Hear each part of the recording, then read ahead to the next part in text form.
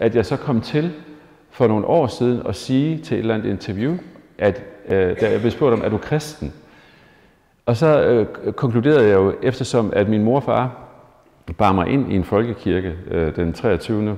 november sikkert, øh, 1964, og blev døbt, altså ja, så er jeg kristen.